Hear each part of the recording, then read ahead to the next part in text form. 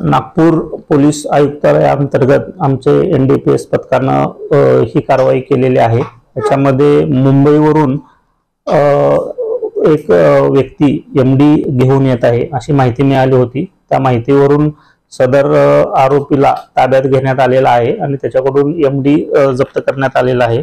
जवळजवळ ते चोवीस लाख रुपयाचं इतकं एम डी आहे.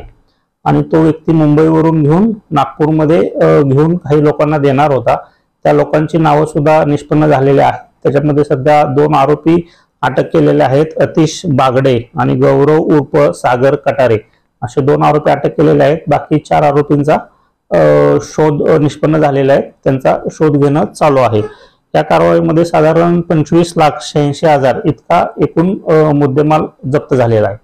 रेल्वेचा जो कर्मचारी आहे त्याचा भाऊ आहे हा जो अतिश बागडे जो आहे त्या रेल्वे एम्प्लॉईचा हा भाऊ आहे आणि कॉन्ट्रॅक्ट बेसिसवर तिथं काम करत होता अशी प्राथमिक माहिती मिळालेली आहे. त्या अनुषंगाने तो अटेंडंट म्हणून त्या रेल्वेमध्ये काम करत होता आणि त्याला ही पार्सल सोपवण्याची जबाबदारी मुख्य आरोपींनी दिली होती.